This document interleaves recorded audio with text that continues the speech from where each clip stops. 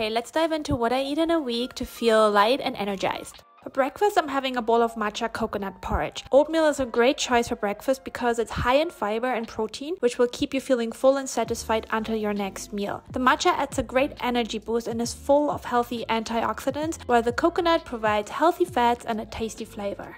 And of course, coffee.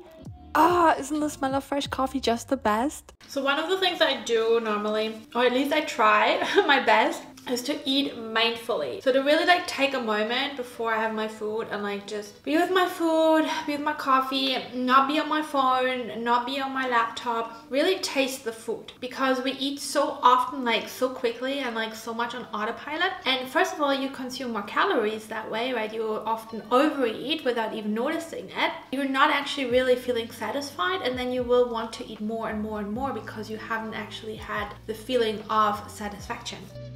Yay, finally time for my lunch break.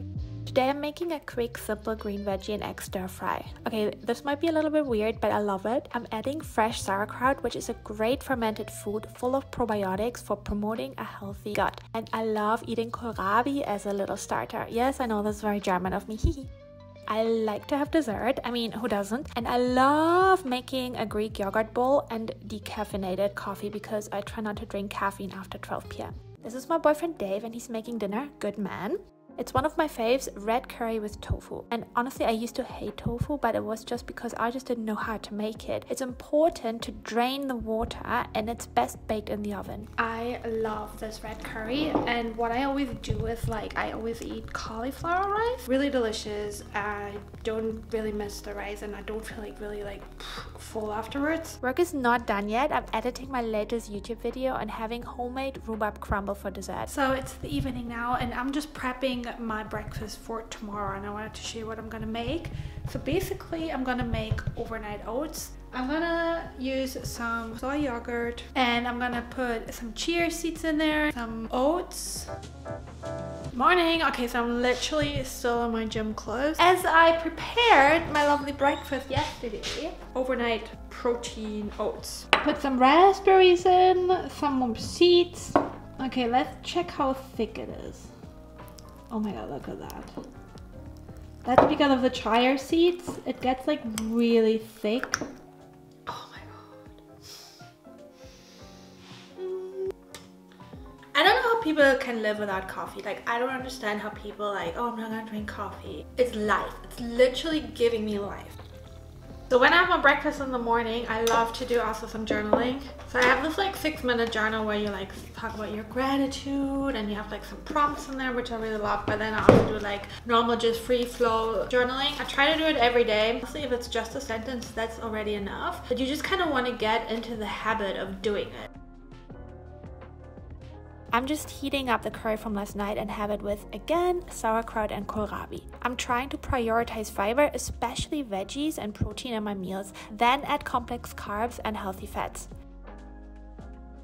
Now it's healthy dessert time. Low fat quark, that's like a really thick yogurt kind of thingy. I love PB2. It has a lot less calories, a lot less fat, but it's still high in protein and I actually really like it. The only downside is it's really hard to get. I got this from Amazon and it's expensive. Like this cost like 16 euros. Honestly, I just cannot control myself around nut butter. Like it's really hard for me to not overeat it. It's always best to set your environment up to support your goals. If you have food in your house where you just really feel drawn to or you really like tend to overeat on, just don't have it in the house. You want to set your environment up for success.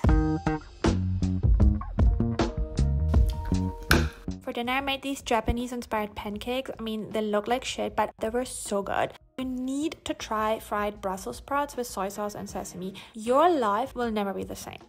Dessert was a little ice lolly while working on my content. As a side hustling content creator, I need to find time where I can, and it's normally in the morning before work or after dinner. Okay, so this morning started a little bit dramatic.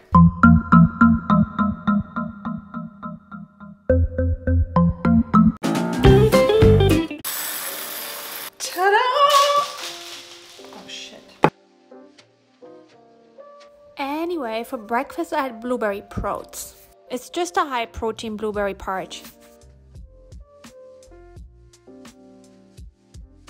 For lunch, I had a simple egg and veggie stir fry. I wasn't particularly hungry. I'm so busy with work today. I have literally no time to do anything. Just like throw in some eggs, throw in some veggies. I always have frozen veggies. And also, I don't like to eat like really heavy things for lunch. Don't like to eat a lot of like dough or like sandwiches and stuff because I always feel sluggish and it just doesn't make me feel good. I like to add my snack as a dessert after a meal so I stay within three meals a day and don't raise my blood sugar in between meals. That's just a way for me to have stable energy throughout the day.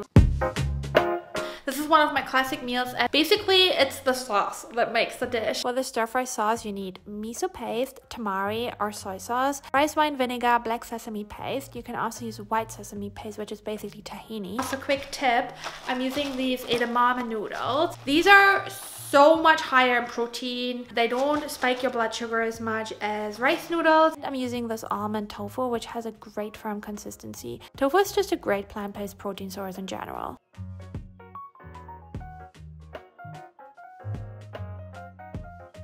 I love making my own popcorn. I don't use oil and I just add some nutritional yeast and salt at the end. It's a super quick, high fiber, low calorie snack and I love having a decaffeinated coffee after dinner. Honestly, caffeine free coffee is changing my life.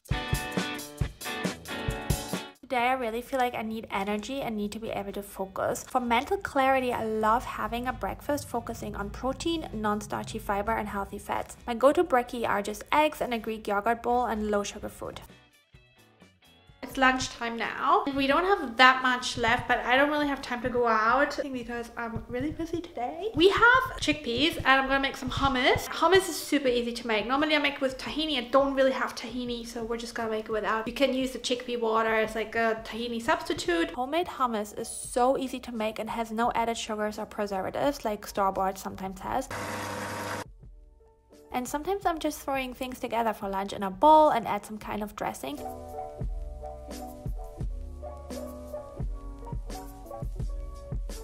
Guys, this is one of my favorite desserts. Just leave quark or Greek yogurt mixed with some protein powder in the freezer for at least 30 minutes and then add warm blueberries. It's literally like ice cream. I love being a little bit more experimental on weekends, so let's make some sweet potato brekkie bowl. You just cook the sweet potato the night before and have it with Greek yogurt, fruits and nuts in the morning. When you let the sweet potato and normal potato cool, the starches turn into resistant starches, which is a great food for your gut bacteria. It's such a beautiful spring day, and Dave is coming back from work so we can have lunch together. I'm roasting some cauliflower. Honestly, guys, roasted cauliflower is the best. I'm making one of my go tos, which are super simple, one ingredient, high fiber wraps. You just need to let a cup of red lentils soak in two cups of water for at least four hours, and then blend everything into a mixture. Ta-da! The weather is so good and I finally have time to go outside for a walk in the sunshine. And guess what? I'm getting some lemon cheesecake ice cream because, I mean, ice cream is the dream, but I'm such a rhyme goddess. It's Saturday and oh my god, it is such a beautiful day. All you need is oat flour, a little bit of spelt flour, a flax egg, baking powder, and quark or Greek yogurt. I'm also making scrambled eggs and some vegan chicken that we still had in the fridge. Got them from Aldi and they are pretty good and don't have a lot of added stuff in them like other vegan meat alternatives. After brunch, we're out and about in Berlin doing some shopping and enjoying the sun. And then we found this absolute sanctuary in the center of Berlin Mitte, but away from all the hustle and bustle.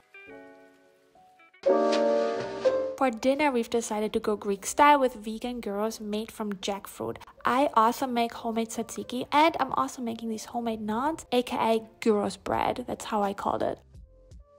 And I mean a little Aperol Spritz because it's Saturday night and then we go for a little digestion walk. Walking after a meal helps you regulate blood sugar and obviously helps your digestion. We're on the way to my favorite ice cream spot in Berlin, and I guess I'm not the only one who likes it here because there's a huge queue. You get a big scoop, and I always get pistachio.